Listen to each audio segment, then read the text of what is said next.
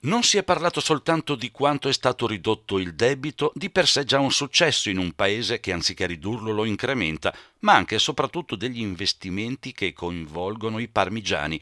Ma ieri sera al Cinema Astra non c'era il grande pubblico, una partecipazione non massiccia, a testimonianza del fatto che condividere le scelte amministrative e prestare attenzione all'operazione trasparenza decisa dal comune per i parmigiani non è evidentemente una priorità ma sindaco e assessori ci hanno provato. Grafiche e slide, tabelle chiare sulla situazione debitoria del cosiddetto gruppo Parma, e cioè comune e società partecipate, entrate e uscite per spesa corrente in conto capitale, con in più il piano triennale delle opere pubbliche.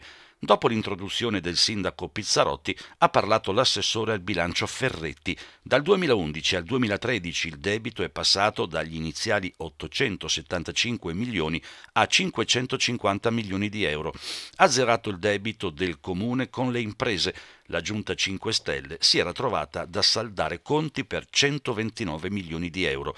L'assessore all'urbanistica Alinovi ha elencato le priorità legate agli investimenti. Sarà completato il Duc B dove verranno ospitate le partecipate, poi risorse per il Teatro 2 all'Arena Shakespeare, per l'ex ostello della cittadella, per il complesso bibliotecario San Paolo, e ancora il Teatro Regio e l'Ospedale Vecchio, infine il Parco Ducale con una nuova apertura a nord davanti alla sede dell'EFSA. In più 16 milioni di euro investiti per la sistemazione delle strade, 2 milioni e mezzo per la manutenzione del verde degli impianti sportivi, 3 milioni di euro per la ristrutturazione di scuole ed edifici di edilizia sociale. Ai presenti al Cinemastra è stato consegnato anche un pieghevole che riassume tutte le azioni di bilancio del comune.